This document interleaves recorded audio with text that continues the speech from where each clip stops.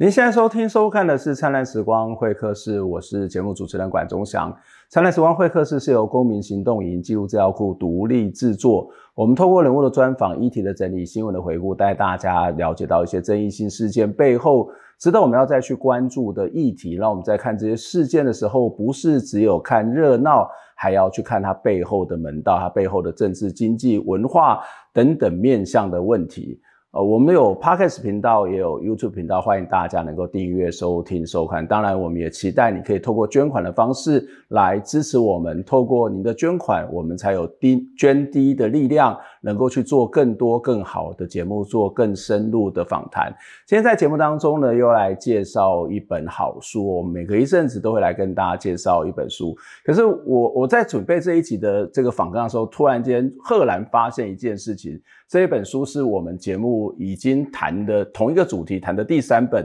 这个主题叫做“皆有”，叫做“无家者”。所以，我们之前曾经访问过芒草心来谈“无家者”，从未想过我有这么一天。还有在前一阵子梦梦想成乡的这个徐老师呢，也来跟我们发呃这个。分享欢迎光临一百六十一号的这一本书，我我不知道我为什么我们自己的节目当中会谈这么多跟无家者有关的书，可能这个主题不是最显著，但是在书籍来讲，它却是被选到最多类型的一一个主题一个单元。而今天要跟大家介绍的这本书叫做呃维代生活无家者的社会世界与帮助网络。那今天在节目当中跟我们一起分享讨论的是这本书的作者。台大社会系的黄克先黄老师，黄老师你好，哎，钟祥好，大家好，呃，非常谢谢柯佳老师来接受我们的访问，来谈这一本书。这本书事实上是你花了蛮多时间就开始做的研究的一个成果嘛？嗯，对。我大概五年前的时候到这个蒙贾公园开始做这个民族志的一个资料收集，哦，然后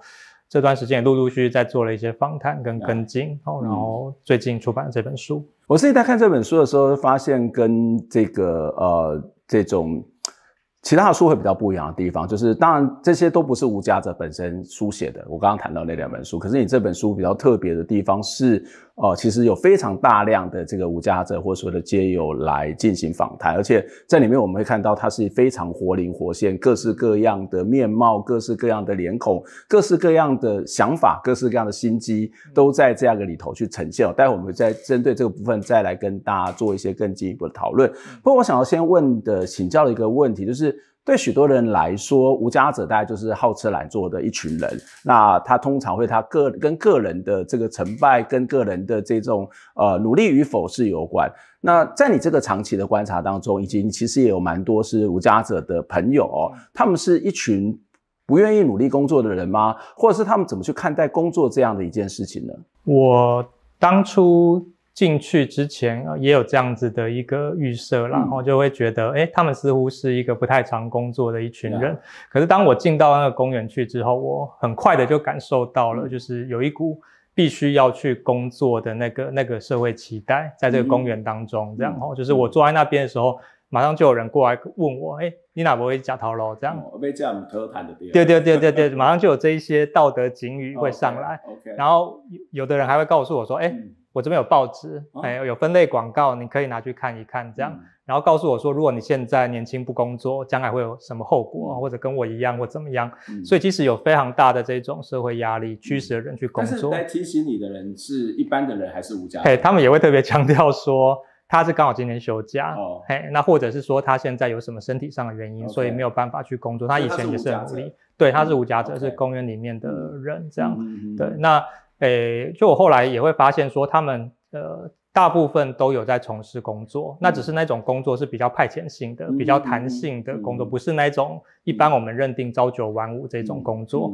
所以很多时候它的流动性也很高。哦，那比如说他去出正头，哦，那正头不一定每天都有，他只有只有特定的节庆才会有。那有的时候是他是去帮忙清扫或者做保全，哦，可是也不是全职的。所以他们绝大多数都有类似像这样的工作经验，那只是。并不是那么的稳定呀，所以其实有蛮高比例的，照你的经验来讲，有蛮高比例无家者他们是有工作的。对，OK，那他们薪水呢？他们的薪水多半就是很低，然后很多都是基本工资来计算。那一天可能做四个小时、三个小时之类的。那每个月他或许可能只有十天、十五天这样子做。所以根据统计的话，他们呃月平均的收入大概可能是八千块。哇，八千块要租个房子都非常的困难吧？对对，所以他们与其拿去租房子，他们会觉得这个钱拿来。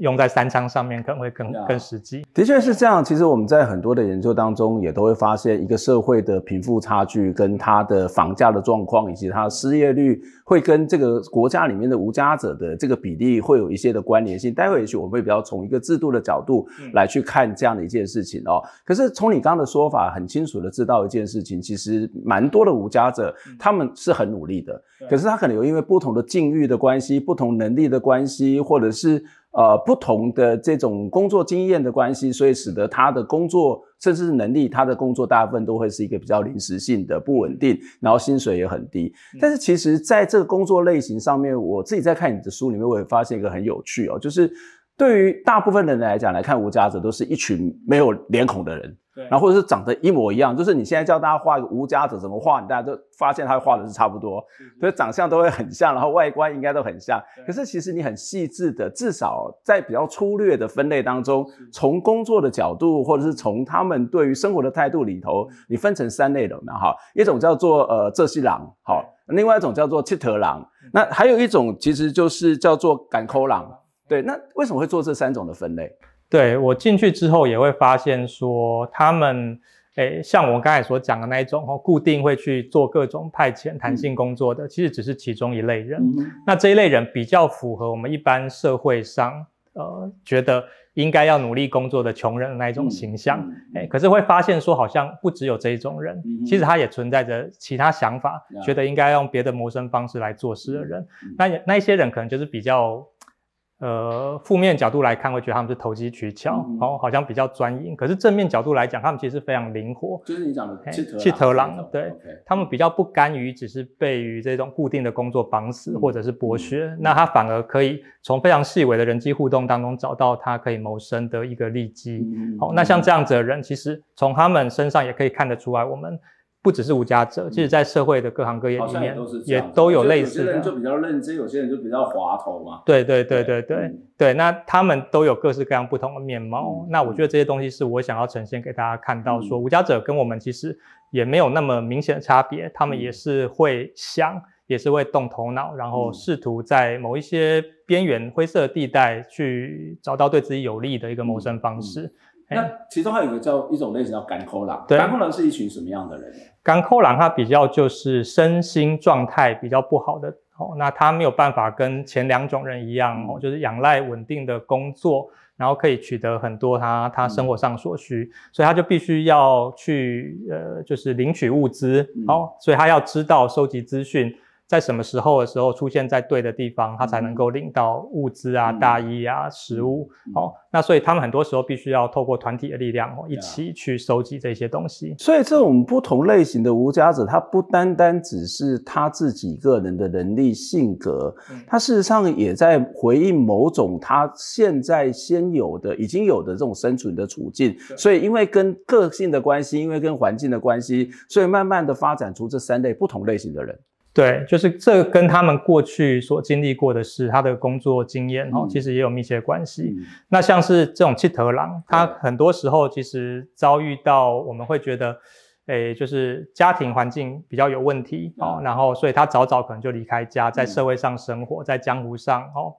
呃，就是打拼嘿打滚。那。在诶，透过在这一些各式各样的行业里面谋生哦，所以他特别培养出了这种会观察人际当中细微美感哦这样子的一种能力，所以他特别会动头脑，特别会去想一种新的方法来来维持自己的生计。诶，那像这喜郎就比较呃是在一个比较贫寒的呃农家哦，可能是中南部出生哦，那所以他他循着这一种他觉得固定的一个管道，然后。诶不断的努力工作，爱表出头梯，哦，那他就觉得，诶这个是他一个谋生所需的方式。嗯，可是我同时也看到说，这些人他们并不是一成不变，哦，就是他在这样子的环境生活过程当中，他也会反思，他也会从他过去的生活经历去想，诶我是不是要继续这样的生活，还是我应该要换个方向？哦，我是不是要这么死脑筋的接很多的工作，然后累积这些？微薄的薪资，可是中间又有很多人剥削我，然后我自己的身体又耗损的厉害，所以他们在这些生活经验的反思里面，有的时候反而会会转变他们原本的谋生方式，变成像是赶口狼。他会觉得我坐在公园里面等需要的时候，我再去领取这些物资，这样子反而是一个更好、更舒服，或者是更有尊严的生活方式。所以。其实跟我们一般人是很类似的状况，我觉得蛮有趣的。就除了可能在他的工作的形态，或是在一些基本的能力上面，可能有一些些的不同。可是你会发现，他们在面对社会、面对环境、面对群体的方式，跟一般人是没有什么太大两样。你为什么要特别的在书中去提出这一种好像跟一般人没什么太大两样的这一种思考？因为绝大多数人就是啊，你们就很弱啊，你们就就是很差啊，那怎么会没有什么两样呢？是。对，所以，我我里面一个呃，之所以采取民族志这种书写的方式，哦，相较于刚才哦，就是你提到的其他无家者种类的书，哈，我觉得它特别就是希望能够强调用鲜活的样貌，让人家看到这一群我们会觉得好像跟我们很不一样的人，其实本质上跟我们差距并不是那么大。他们之所以在行为上，哦，或者是他的说法上，好像有一些不同，其实是因为他的外在环境里面，他的资源有限。他去因应这样回应这样的环境所采取的一个方式，可是他的价值观。他喜欢的，他他的一些欲望，其实跟我们一般人是非常非常接近的。这也是这本书很有趣的地方。虽然我们在谈的是好像个人的故事，可是你刚刚不断强调叫做环境，所以这个个人的故事，这个人会怎么发展？这个人他会怎么样被外在看到、看见？他不是一个纯粹他自己努力不努力的问题，跟他所处的环境，可能是家庭的环境、社会的环境，或者整个国家的环境，以及他面对这些环境的能量，都有很大的关系哦。那当我们谈到无家者，大家就会想到就是家。那无家者的真的是没有家嘛？就是说，呃，我们知道无家者好像就是被迫离开他的家，可是家实际上有不同的概念，例如说，家可能是一种房舍的概念，它可能是一种呃情感的概念，它可能是一个空间，但是它可能是一个支持。无家者怎么去看待这样的一个家的概念？然后，无家者他真的是家人都不管他吗？就是。呃，他为什么成无家者？他难道没有爸爸妈妈、没有小孩、没有亲戚、没有朋友，没有办法去支持他吗？没有办法成为一个支撑他的力量吗？嗯，对，就是，呃，很多时候我们对无家者会有各种的想象哦。那但是透过就是这个民族志的考察，我们会发现它比较像是一种迷思哦，就是说是我们呃。贴在他们身上的一些标签，所导致这样子认为，像无家者没有家庭，或者说抛家弃子，这样子也是一个常见的一个迷思。嗯，那我实际接触到这些无家者，很多其实跟家庭都继续保持联系，哦，就是他们。持续都有家人来公园看他们，或者是他们过一段时间在端午节或者某一些节庆的时候，他也会特别拨空回去拜访这些亲人。把他们带回家，好好的去照顾他们就好了。对，那很多时候就是因为这个家本身，它可能容不下这个人。怎么说？哎，那。因为这个家，有的时候我们有一些既定的想象哦，比如说一个男人哦，他作为一个丈夫或是父亲，他在这个家户里面应该要扮演特定的经济角色，他必须要带回来一定的养家的薪资哦。可是这些无家者，他我们前面有提过，他的教育程度或是他的工作能力可能有限，他没有办法在劳动力市场上能够稳定的工作。所以他身上的钱就非常的有限。那回到家里，当你没有带足够的钱，很多时候他们就会被嘲笑也好，或者是被 cos 哦。那这个在这个家庭里面的对他们的压力是大的，所以他很多时候没有办法稳定的待在家里面，他必须要有一段距离来到公园里面，对他来说。反而比较像是一个家一样的空间，会包容他、接纳他，可以做情感交流的空间。嗯，可是他也不会因为这样就断绝跟原本家庭之间的关系，所以就变得是大家彼此都维持了一定的距离，但是可以相对和谐的相处。这是蛮像很多那个大学生，他在。他高中要毕业去填他的志愿的时候，他第一个志愿就填离家比较远，他不想要跟他家庭，但是不代表他是无家，或者不代表他愿不愿意跟他家里面来往，他只是想要有自己的空间。那特别是你刚刚谈到无家者的这个例子来讲，他他所面临到问题不是一个他能力在工作能力上面的问题，他可能是面临到一个所谓社会期待的问题。我所谓的社会期待说，你这几个查波浪应该爱打这个给，你爱探我这一期，但是一可能无法多，而且无法多，以及后。以他的自尊可能会受损，可能会受伤，所以他就只好离开，然后找到自己某种的，我不晓得可以算是他的某种的自我成就吗？至少他找到一个他可以安呃这个所谓的舒适生活吧，或者是一个安稳生活的一个空间吧。对对，就像我刚才提到那个有一个就是居住在新店的那个例子，然后就是他。没有办法长时间待在家里，因为在家里面会被念哦。然后他在家里唯一的兴趣就是看一些球赛哦。那可是他的妈妈哦，他的女儿就会念他。那他有时候就觉得，哎，来到公园里面跟着大家一起吃喝，然后有一个阵头可以去出，对他来说是很大的心灵上的满足。哦，在出阵头的过程，他会觉得心灵上有一些平安的感觉哦。然后他也喜欢跟大家一起。走走跳在一起，这样哦，那那我觉得就是达到一个蛮好的一种平衡的状态。那这样的人一样有家庭，所谓家庭生活。哦，那他一样有社交生活，我觉得对他们，或者说对这整个他周遭的人来说，都是蛮好的。嗯，但不管怎么样的一个原因，这个所谓的无家者，他毕竟离开他原来的家，对，就是他原来的，他不管是一个 family 的概念也好，或者是这一一个一个 house 一个空间的概念也好，他到了另外一个地方，他才会被称之为无无家者。可他到一个地方好，例如说我们常常会看到无家者会常常在一起共同的生活，例如说万华蒙甲公园，万华公园是常常被举的一个例子哦。所以他们事实上会不会也？是到了一个新的家，建立的一种新的家庭关系、社会关系呢。那你在书里面提到这三种类型的无家者，他们各自的所谓的对家这个所谓的群体的想象，对于这个所谓社会关系的想象，或者实际上面又有什么不一样呢？嗯，诶，如果是用那三种哈群体来来看的话，哦，就是像是诶。这喜狼哈，这喜狼跟诶这个七头狼哦，他们比较不会愿意跟别人建立一个相对比较稳定的关系，他们的观念还是停留在一个比较瓦嘎迪帕比啊哦，然后我自己努力，然后别人来靠近我，很有可能就是要跟我分一杯羹哦，比较有这种防卫的心态，他希望证明自己可以，证明自己可以成功哦，那所以。我们看到在公园里面比较稳定发展出跟他人关系的，多半是这种干口狼。他有一些生活历练，他觉得自己有一些局限，他需要靠着跟别人建立良好关系来维持生活哦，这样子的一种情况。所以在这些人呃来到公园之后，他确实也会有一些亲密关系的发展哦，然后会会发现可以跟他一起到顶的、一起互相扶持的对象哦。那所以对他们有时候就会一起找工作。或者是一个去工作，另外一个留在公园，哦，就是有点打打理内务这样子的一个家庭生活的味道在里面。那有一些人他可能不太想要进入亲密关系，但是他们也会自然而然根据他们能够做的事情、不同的功能，发展出类似我一般称呼叫做你家的关系，哦，很像是家庭的关系。比较年轻的就负责去跑腿，哦，那比较负责就是去去找一些资讯，哦。那比较呃呃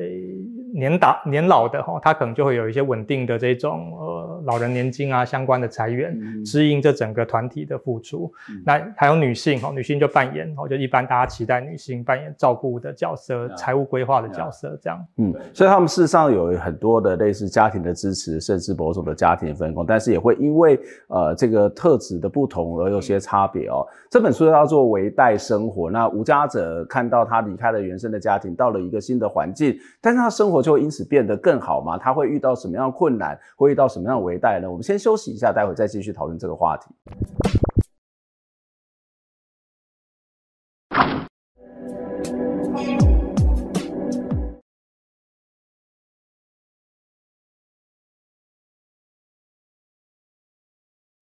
我刻意用“围带”这个字来当做书的标题，要凸显就是他们生活环境里面哦，充满着各种不确定性，很很有可能这个时候看起来不错，可是下一秒钟哦，可能就有很大的变化哦。那这当然跟他们露宿哦，在街头这样有关系，那同时也会跟他们所身处这种劳动力市场的状况有关系。可是我更想要强调就是说他们。在人际关系当中，人跟人互相对待的那个转变，也可能是非常伟大，有可能是瞬息万变，有可能是让他们觉得，哎，对方好像不是他可以足以信任，那这个关系可能很快就断裂或破碎。所以，我们原本可能呃很浪漫化的，可能想象说，哎，他有很多的我们刚才前一节所谈到各种的关系，会支持他，会撑住他。那但是其实这个东西也是常常转变的非常的快。也是造成他们生活困境另外一个重要来源。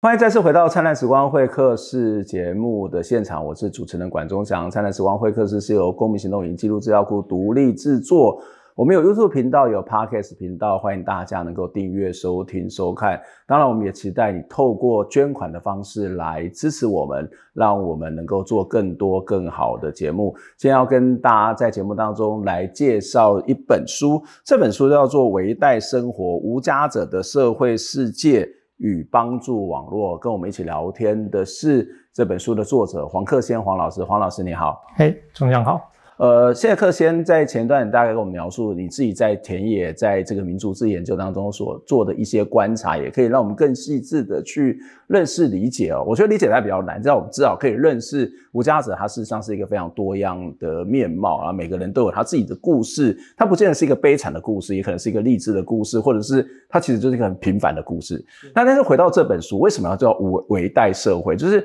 他离开了家，他也不是孤零零的一个人，他事实上有一群人可能成。为他的支持，然后也看到很多的社工啊、宗教团体啊、善心人士都可能在这里面成为各种不同的力量。那当然，政府也会有一些政策。那他的维代是什么？在这样的生活环境当中，他会面临到什么样的一些一些风险、什么样的问题呢？嗯哼，对。那呃，我刻意用“围带”这个字来当做书的标题，要凸显就是他们生活环境里面哦，充满着各种不确定性。嗯，很很有可能这个时候看起来不错，可是下一秒钟哦，可能就有很大的变化。哦，那这当然跟他们露宿哦，在街头这样有关系。那同时也会跟他们所身处这种劳动力市场的状况有关。系，可是我更想要强调，就是说他们在人际关系当中，人跟人互相对待的那个转变，也可能是非常伟大，有可能是瞬息万变，有可能是让他们觉得，哎，对方好像不是他可以足以信任，那这个关系可能很快就断裂或破碎。所以，我们原本可能呃很浪漫化的，可能想象说，哎，他有很多的我们刚才前一节所谈到各种的关系，会支持他，会撑住他。那但是其实这个东西也是常常。转变的非常的快，也是造成他们生活困境另外一个重要来源。就像他不像是我们一般的亲戚朋友或是同事，哈，就是说他是非常稳定的一个人际关系在支撑着他们的这个网络，其实常常也是瞬息万变。那这个往往会让他们已经困难的生活更加的。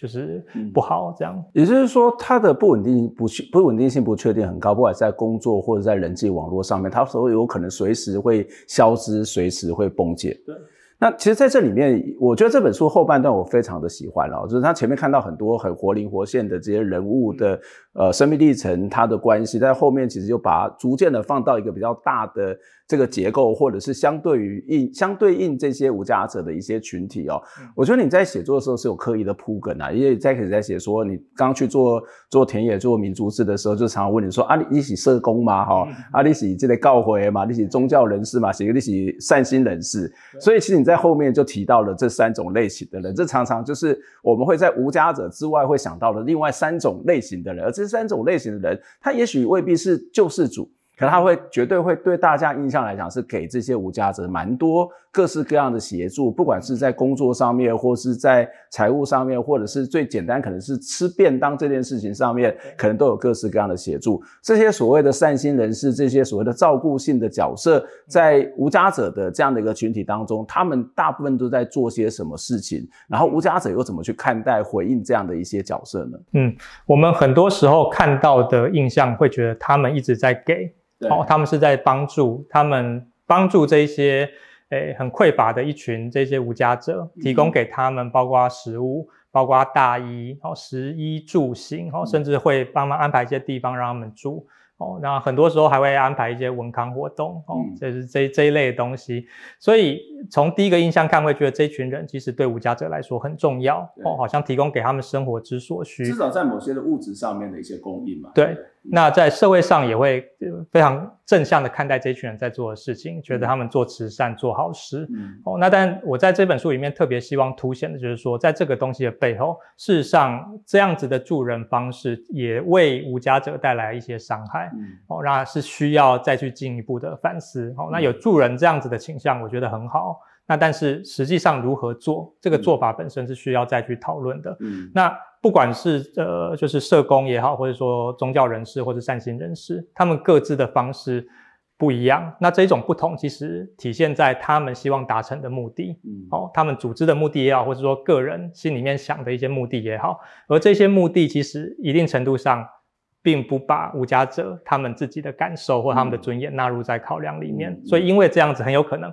这些助人者给出了很多，在物质上给出了很多，但反过来，其实他在象征上，他在实际尊严上面也伤害了这些被帮助的人很多。这部分可以再跟我们更具体的谈，因为我看你在书里面，其实从某个角度来讲，我我觉得你对这三种大家认为的好人是有蛮多非常严厉的一些批评批判，甚至你会用一些一些这样的词汇去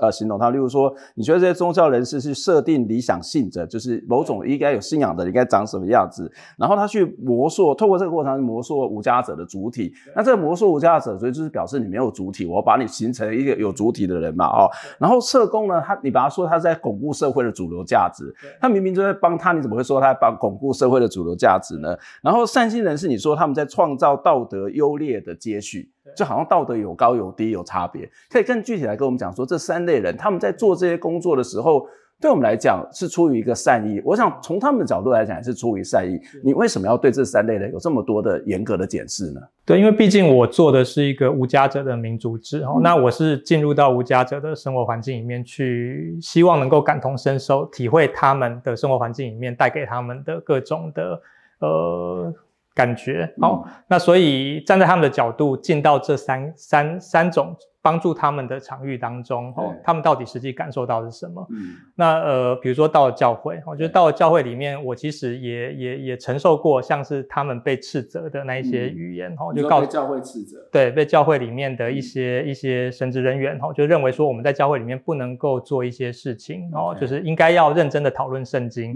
要认真的讨论一些，这很难吧？对，就是对。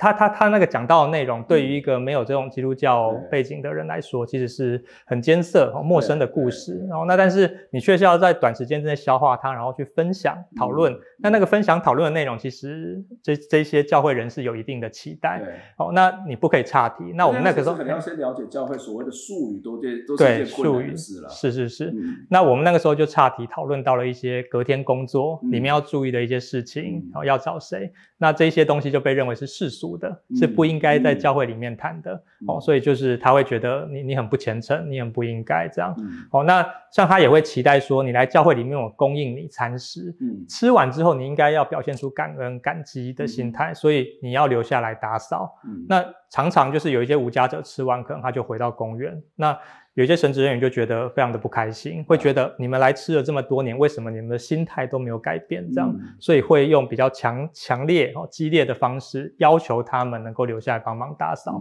哦，那所以这个时候就会很明显凸显出。其实教会做这些事情，表面上看起来好像是善心的，可是它背后有一个理想信者的预设，他觉得你应该要透过这个一连串的过程，被磨塑成某一种特定的样子。我觉得这个层面就还蛮清楚的。那当然不只是在基督教、佛教或者说民间信仰，它其实也都有相对应的一些做法。对，哦，那至于像是社工，社工。看起来好像提供非常多不同的福利给他们哦，可是我在具体的现场看到，很多时候社工跟无家者的相遇，街头上的相遇是非常疏离的。嗯，社工所提供的，比如说要给你地方住，比如说哎，很善心的问一下你要不要返家，可以提供给你车资，或者你需不需要找工作。很多时候得到回应都觉得我不需要，为什么呢？这我们大家觉得说啊，你没有家给你房子住啊，没有工作，那你就去上班就可以解决你的困境吗？这个为什么不要呢？对，那我实际上诶真的去住过那一些安置的住宅，或者是我真的去了解，就是呃这些就业服务站所提供的工作机会，哦，就会发现说这些东西并不是无家者，绝大多数无家者他们真的需要的，或者是那个环境本身其实有很多。对他们不利的一些一些因素在在其中。哦，比如说那个提供的工作本身跟他们的技能合不起来，或他们自己本身就很积极的在在找工作了。那现阶段只是他们休息的时候，所以他们并不需要这些工作机会。哦，或者是安置的地方其实有呃各式各样不利，就是让人无法好好休息的一些因素，太狭窄，或是人际关系复杂等等，这些都会影响。哦。可是社工就是有点行礼如仪的哦，就是会会会提供给这些。在提供出这一些的选项，那但是无家者真正的需求并没有被照顾到，所以他为什么要一直提供这一些好像无家者不需要的东西？其实它背后反映着这个整个社会大家对于政府应该要提供什么给无家者的一些期待。哦，这个期待其实。就像我刚才讲的，他们维持的这个年代是主要是要能够巩固社会主流的一些价值。嗯，嘿，嗯，你你写这样的一个东西，当然很直白的写出你对于这些人的看法或者是一些想法，嗯，以及你的观察。我不晓得这些社工或是宗教人士或者三十人士有没有看到你写的这本书或者你的发言，他们有什么样的回应吗？那如果说你对于这些做法哈感觉不是很满意，那你你会建议他们应该要怎么做会比较好呢？对，就是呃，确实也有一些人看了之后会觉得不舒服哦，因为毕竟是他们花很多心力投注在其中，出于真心，对，出于善意，出于真心在做。那呃，可是我我其实也是希希望跟他们沟通哦，就是说，呃，我我们的出发点很好，没有错。那但是我们的做法是不是可以有一些调整？哦，那是不是有这个调整的空间？哦，比如说就是呃。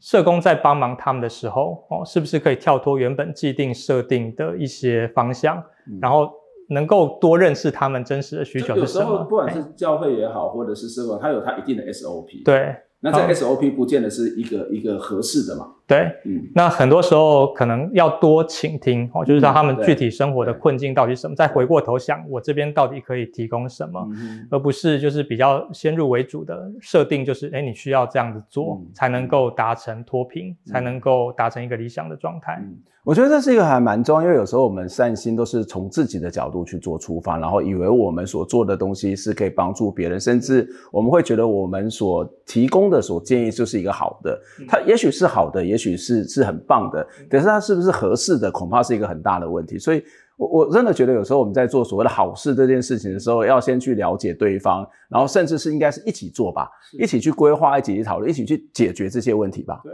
所以我在书里面有一章是有关善心人士这一章哦，那我我一直很想要把它写出来哦，就是因为我在蒙甲公园其实见证了很多所谓。呃，台湾最美的风景就是人，像这样子的一个一个具体实例，有很多来自于大台北地区的人，他载着他他他的一些准备的一些餐食啊，或者什么物资来这样。那可是我在里面其实也看到了这种所谓最美的风景背后一个相对比较黑暗的一面。嗯，好，那我里面就是特别会会会会会写出这一些故事来，希望能够让大家看到。其实很多时候我们在在比如说提供给他们什么样的物质物资哦，举办一些活动的时候，说到底哦，对方的感受是什么？嗯，我们必须要很诚实的面对。对，那我里面就提到说，就是吴家者他觉得他参加这个活动本身是好像被当成道具一样，哦，好像就是对方提供给他们一千块的这种。这这个我在做精神障碍的研究做田野的时候，有很多精障的朋友会说啊，我去卖东西，他觉得。我没有主体，我就是一个道具，我只是去彰显你们好像做了很多好事，好像很多的状况都有类似的情形啊。是是是，对对。那但是，哎，有有有几个我体验到的那个场景是特别令我惊讶哦，就是我我我真的去做那个田野，才发现说，哇，这种这一种类似的一些状况频繁的出现在这些无家者的生活周遭，那也难怪说他们是一一就是。特定的方式去看待这些来帮助他们的人，很多时候他们拒绝被帮助，不是因为他们不需要那些东西，而是因为帮助的过程里面往往他们失去的东西可能更多。哦，就像他们为了领到那一千块的那个，有点是帮助他们过年的一个加菜金。哦，他们必须要就是搭着公车花一两个小时的时间到了一个场地，然后看着跟他们毫不相干的一些人在上面唱歌啊、跳舞啊。哦，然后要求他们拿着那个奖金然后拍照哦，就是那那整个过程，其实身在其中会觉得。就是我我为什么要为了这些钱来做这些事情哦？然后到最后，我觉得就是有点怅然若失的那一种感觉哦。那但是就是这是常常在公园里面发生的事呀。那有些人带着物资来公园，却会不断的怀疑眼前这一个人，他到底是不是真的无家者。是不是真的需要被帮助的人？所以他还会用一些话术去欺骗，然后就公园里面的人，就是做过滤。对他要过滤，他要确认你真的是需要被帮助的人。所以只要你看起来稍微好手好脚，或者是你好像生龙活虎，他就觉得哎，这个东西不应该给你，他可以拒绝给你。哎，然后你就变得好像要用一个非常卑微的方式才能够拿到。而且他某种程度可能会觉得被羞辱吧，就是我我。我可以不要，但是你为什么要怀疑我？是是是是，对，就是我里面其实也也也也描绘了一些这样的一个故事。可是那一些来发物资的人就觉得他有这个资格去做这种审查，甚至可以做欺骗的方式来达到审查的效果。那我我其实就就觉得非常的疑惑哦，这这当中我们。究竟觉得帮助是一个什么样的行动？就像我们刚才讲，他未必是恶意，甚至他我们他可能有更多的是一种善意，甚至在善心。可是这个善意怎么样让他？真正有意义，或者是真正是能够符合，或者是怎么样让他所谓的所谓的共好吧，而不是一个我们认为的好，他就是好。我觉得那可能真要花蛮多时间，要对这样的一群的群体要有更多的了解、体会，甚至某种程度是应该要共同在一起生活一阵子，才有办法去理解跟知道的。对，那其实我们刚刚在谈的很多是在那个比较活灵活现，你可以看到每一个无家者他都有自己的生命的历史、生活的背景，以及他的各式各样的思考，以及他的各式各样的人际。互动，事实上我们看到是一个活生生的一群人，但是其实这本书哦，其实后面到后面其实又回到一个很所谓的传统社会学吧，就是传统政治经济学里面会谈从一个结构的角度来谈。可是你在前面也也就开始提到说，你说有一些无家者。特别是里面的这几郎吧，我如果没有记错，他们的成长年代就是一个经济起飞的年代，所以他们一直觉得努力工作，然后我只要努力，我就可以发大财，我就可以有好的生活，它是存在了这一种所谓的期待。那这跟所谓的一个社会的发展，跟所谓的社会形成的。头家的意识形态、价值观，事实上是有一些关联性的。你在后面，在整个要在收尾的时候，你也提到一个叫新自由主义的一个问题，就是我们知道新自由主义就是越来越所谓的资本化、财团化，越来越自由化，所以很多的公司它在使用这些人的时候，它的劳动是弹性化的，派遣化是很严重的。那也就是说。你除了谈到那个体的角度之外，其实也谈到一个结构性的角度。所以我想要再请教你的一个问题，就是说，从一个政治经济的结构的角度，从一个社会的这种比较制度性的角度来讲，这些无家者又是如何被社会给练成的呢？对，就是呃。之所以在最后又回到这个新自由主义的这个脉络哦，我觉得它其实影响是巨大的。那一般呃，我们会比较容易看到，就是在经济结构的层面跟政府应对的层面哦，它去管制，它希望说让财团哦或者说资本的力量来主导这一切。可是回过头，你也可以看到，它对于个体其实有一些期待，所以常常会讨论所谓新自由主主义的主体，它有一个特定的想象。哦，所以政府透过这种福利的制度，它其实也期待着这些人哦，特别是无家者，他不要被动的，就是接受这些社会福利，而应该要把自己打造成是一个工作这种伦理良好、愿意工作，即便他低薪，即便他有很多的风险，你都还是要愿意为了赚取这个薪资而努力。透过这种方式，你去租房子，那你才是一个好的人，你才是一个理想的人。这样，所以他不愿意在比如说房屋的津贴上，或是其他的福利政策上。给予无家者太过多的呃福利哈，而是希望用一种以工代赈的方式诱导他去做这种低薪或者高剥削的，你就应该要去工作，对你不要仰赖国家。对，那这个他对于这一些无家者一种主体性的期待，其实也反映在无家者他自己对自己的期待上面，他们会接受哈，就是说政府这样子的一个一个暗示。那其实很多我们里面讨论到帮助网络哦，包括善心人士或者说这些宗教团体。也是用这样子一个方式来看待他们哦，所以他们会希望他们自己能够自觉，自己能够好好的规划自己未来的人生哦，会希望说他他可以更主动一点为自己的改变哦，就是能够负责任这样哦。那所以这些这些有关于新自由主义相关的影响，它不仅只是在这个政策层面哦，或者说经济结构层面而已哦。我我里面更着重说讨论到它。具体如何影响到，就是其他人对这些无家者期待，以及这无家者如何看待自己？嗯，也就是我们刚刚的讨论下来，其实我们发现他们并不是不努力嘛，对，他们并不是不向上嘛，对不对？但是因为他有很多可能先天的问题、家庭的问题、结构的问题，他没有办法达到大家的标准，可他就很容易这样的期待，就会很容易个人责备论，就会回到说啊，就是你不够努力，就是你不够好，他也会觉得说，就是我不够努力，我不够好，所以他反而会一种所谓的厌世啊、自暴自弃，压力反而会很大。是是是，所以很多时候又回到我们刚才前面有谈过哈，就是说他们的价值观本身其实跟我们一般人并没有太多的不同，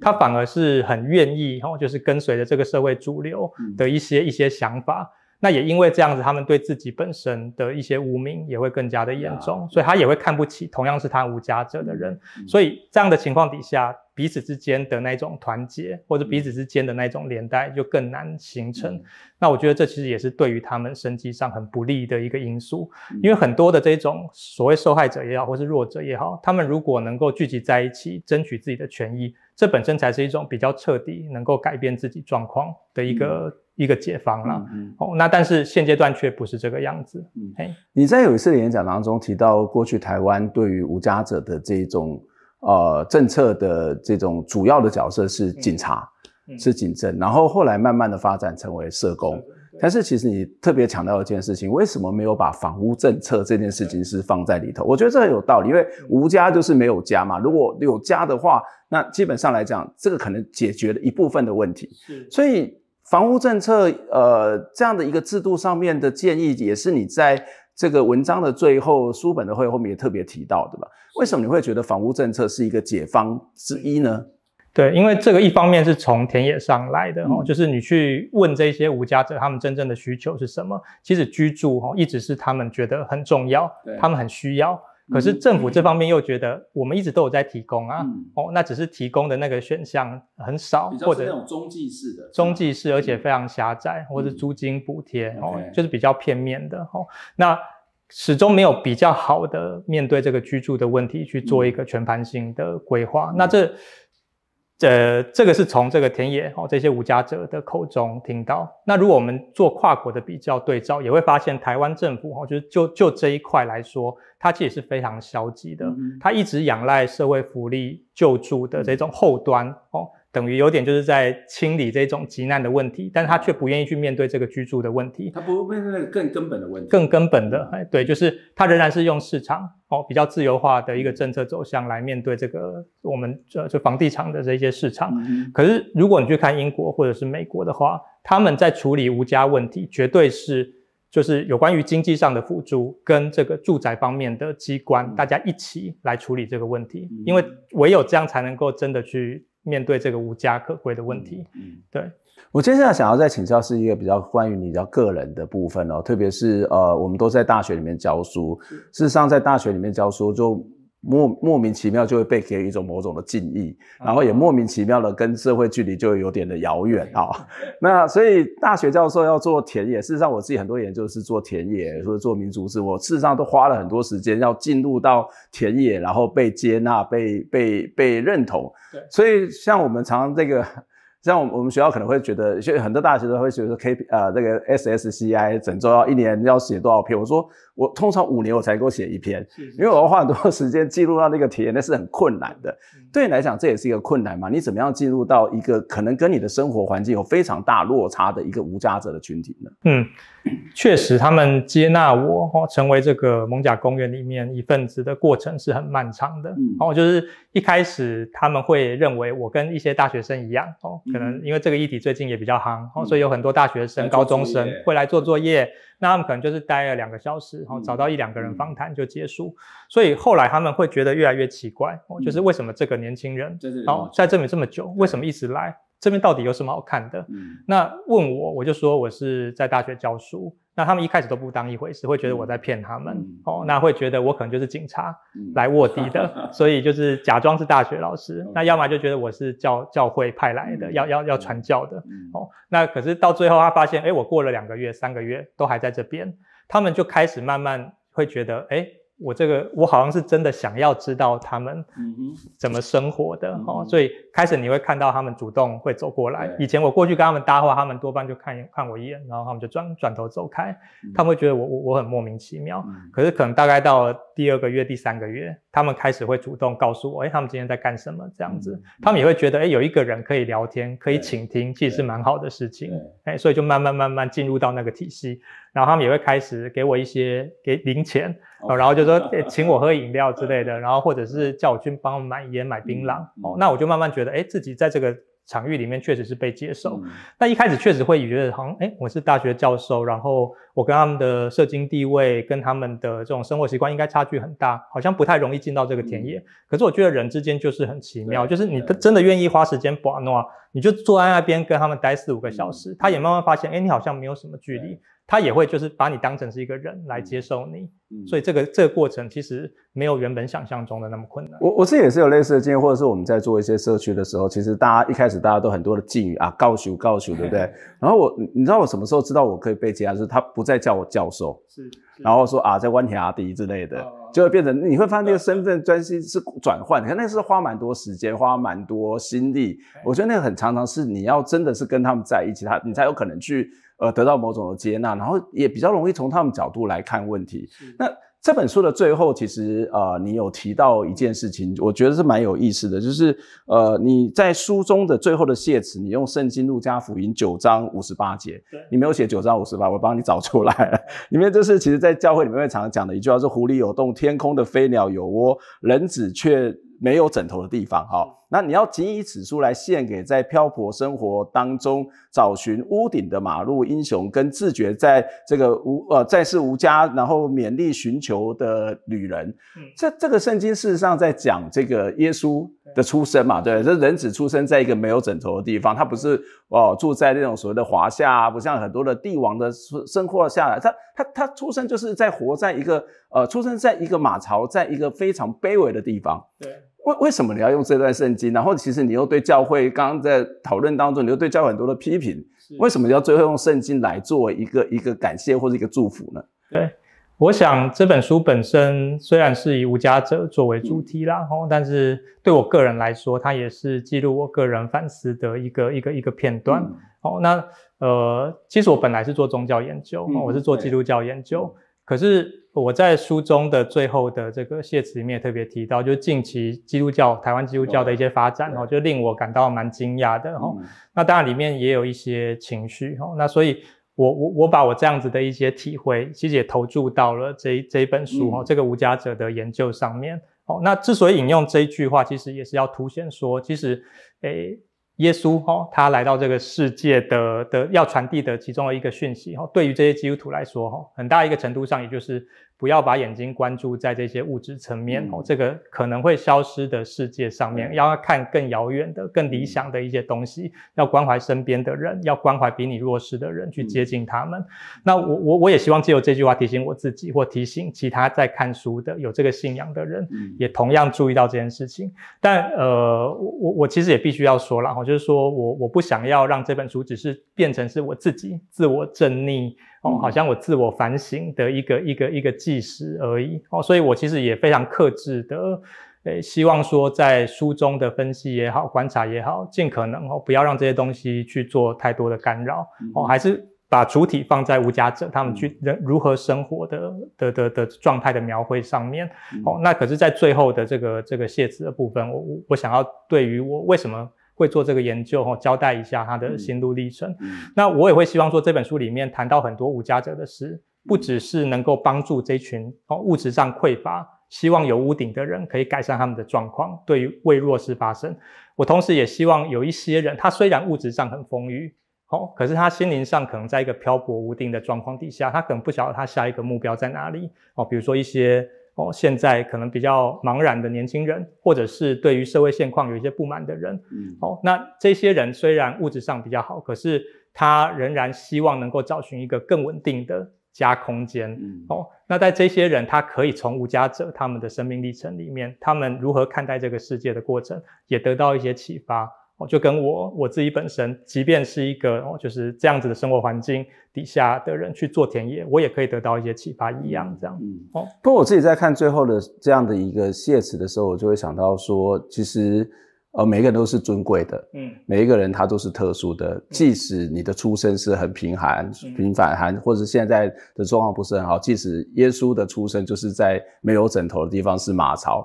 可他还是一个尊贵的，他还是一个独特的，他还是一个有主体的，然后是受到敬重。我我相信这也是对，呃，我们怎么去看待一个人，不要去看待他的出身或是他的现况，然后就去否定他。我觉得是一样的道理，就是我自己对这件事情的一个一个解读。对，非常谢谢今天客先来接受我们访问，让我们从这本书里面，呃，不只是看到我们对无家者的认识，对于社会体制的认识，也看到你自己的一些反思、一些思考历程。谢谢柯先，希望下次有机会再请教你相关的问题。我们下次再见，拜拜，拜拜。